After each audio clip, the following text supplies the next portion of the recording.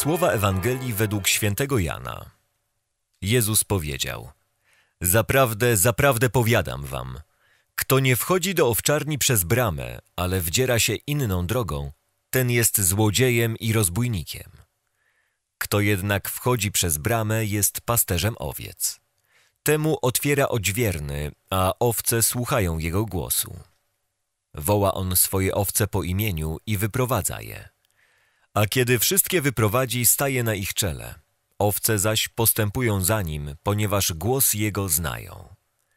Natomiast za obcym nie pójdą, lecz będą uciekać od niego, bo nie znają głosu obcych.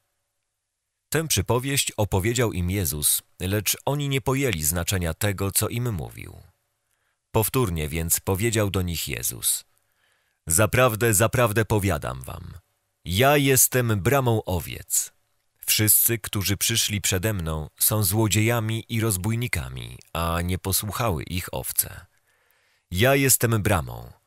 Jeżeli ktoś wejdzie przeze mnie, będzie zbawiony. Wejdzie i wyjdzie i znajdzie pastwisko. Złodziej przychodzi tylko po to, aby kraść, zabijać i niszczyć. Ja przyszedłem po to, aby owce miały życie i miały je w obfitości. Dzisiejsza wypowiedź Jezusa jest równie radykalna jak pozostałe w minionym tygodniu. Jezus w dobrej nowinie wyraźnie wskazuje, że On jest jedynym pośrednikiem między Bogiem a człowiekiem.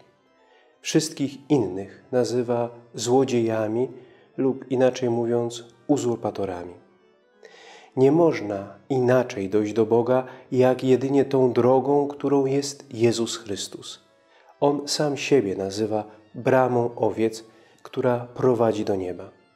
Tylko w osobie Jezusa Chrystusa mamy przystęp do Boga.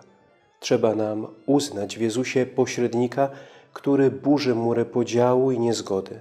Pośrednika, który pojednał nas z Ojcem przez krew swoją przelaną na krzyżu.